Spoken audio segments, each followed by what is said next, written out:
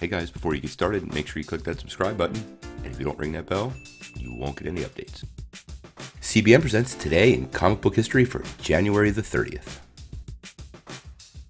On this day in 1933, the Lone Ranger debuted in its own radio show on WXYZ in Detroit.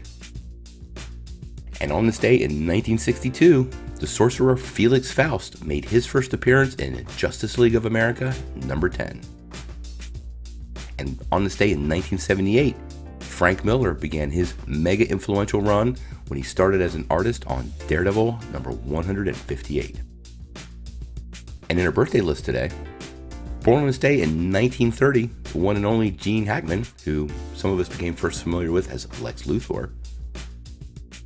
Also born on this day in 1953, comic book writer Dann Thomas, best known for her work on West Coast Avengers and interestingly enough, the superheroine Firebrand of the All Star Squadron takes her civilian name, Danette Reilly, from Dann.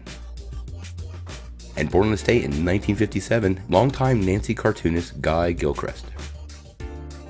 And finally, born on this day in 1961, Denys Cowan, who has worked both at Marvel and DC and served as an artist and producer on Static Shock.